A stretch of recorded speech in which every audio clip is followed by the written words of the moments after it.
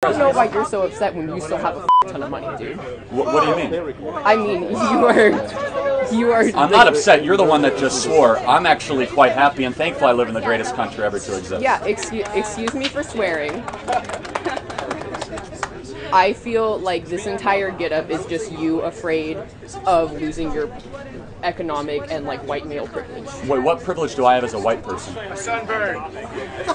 No, no, seriously. He's just ignorant. No, no, no, no. You know, it was nice to meet you. Can Can I shake your hand? uh, yeah, but can you Can I explain shake your me? hand? It was nice to meet What- you. what- I'd like you to think about does- the what- way your actions affect other people, not just the white male people in this country, No, no. What, but everybody what in this country. What does being a white person have Think to do about about, that. anything? And this is, I believe, this is a mental issue that happens to people who are oppressed, people who are broke, or people who are poor, or people who have this poor mentality. Because I see no reason why some people feel like a rich man is the reason why they are not able to make income. Like, if you keep on blaming people for like things that happen to you, you will not be able to change it.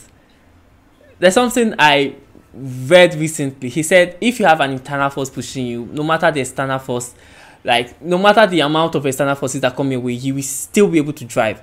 And I see no reason why some people feel like, nah, I haven't made it because I'm black, or I haven't made it because I'm Chinese. Like a white man have the same, you have the same opportunity as a white man. So if you keep on telling yourself like lies like this, you're not gonna go anywhere. I know where she belongs. She belongs to the streets. Okay, this is the fatness spectrum. A small fat is a size 18 and lower, 1x or 2x. I'm a 4x, 5x. I'm a size 26, sometimes 28. I am the super fat you say I'm speaking of. Um, yeah, that ain't gonna work. That ain't gonna. You know, in jobs, they require someone to to call them by their preferred pronouns. Absolutely.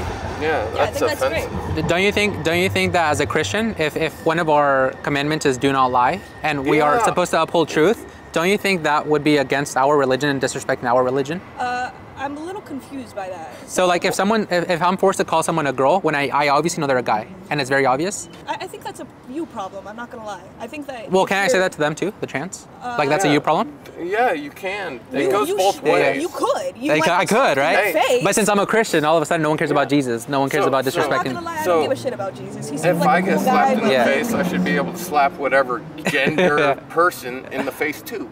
Yeah, Equal absolutely. equality. You want to know what's fat phobic? The photo booths. And here's why. Only one fat bitch fits in here. We tried to both get in, and I got stuck. I don't think you're gonna pick wrong. You got this.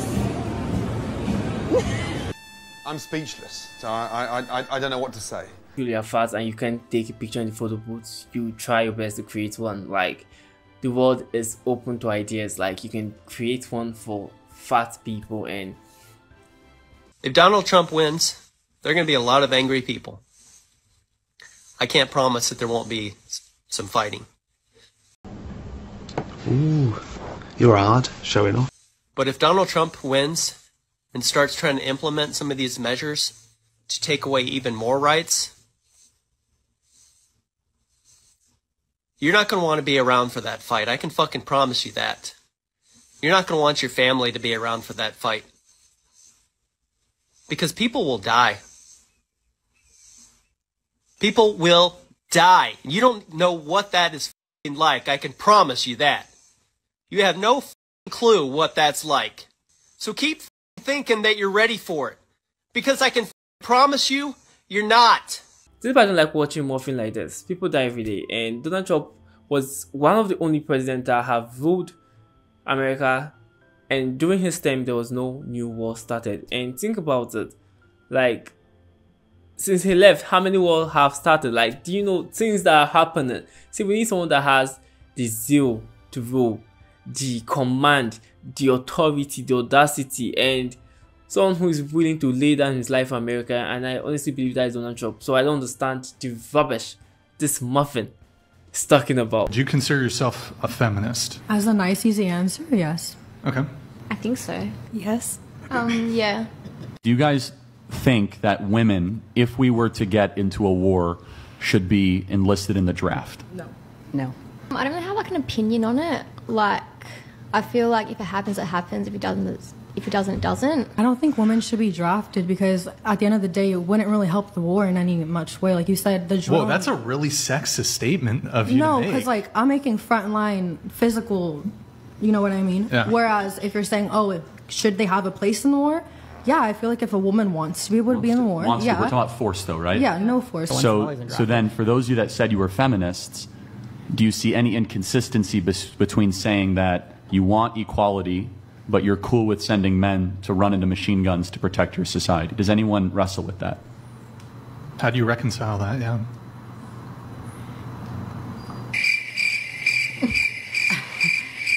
I didn't say I was a feminist. No, no, you only want the equality that benefits women. No. It's called congratulations. You played yourself. Women came to be feminists until the video is dropped.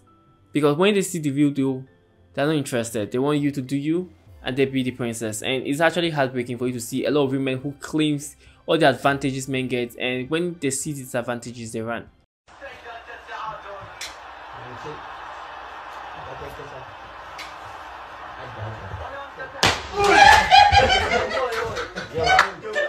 Old are you? Oh boy, I'm 24. So if you were born 10 years ago, how old would you be? Uh, 34. What?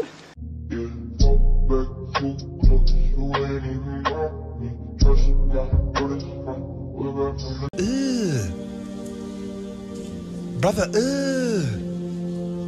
What's that? I'm here. I'm here. I know you're scared. I know you don't know what to do. But I've got you and I won't leave you. And I love you and I'm so sorry that you're scared. But it's okay to feel. It's safe to feel. It's safe to cry. It's safe to move When you see Donald like trying to do these kind of things to trend, it actually breaks my heart because this is rubbish. This is pure rubbish. For the fact that you wanna accept yourself does not mean you have to. This is rubbish. Stop it. Get some help. This book references vulgarity. It says Christy is on all fours facing the headboard, her ASS raised high in the air, and I'm straddling her back as if I was riding a dog or something, but backward, my knees resting on the mattress, my d- half hard, and I'm facing Sabrina, who is Sir, staring that's- that's one into warning, Christy's spread open ASS with a determined expression. Her smile seems tortured, and she's wetting her own lips by f***ing herself and tracing her glistening index finger across them, like she's applying lip gloss. With both my hands, I keep Christy's ASS and spread open, and I urge Sabrina to move in closer and sniff them. To sniff. All right, we're gonna we're gonna adjourn, folks. I motion for Sabrina to move her face in closer until she can smell my fingers. Well, my question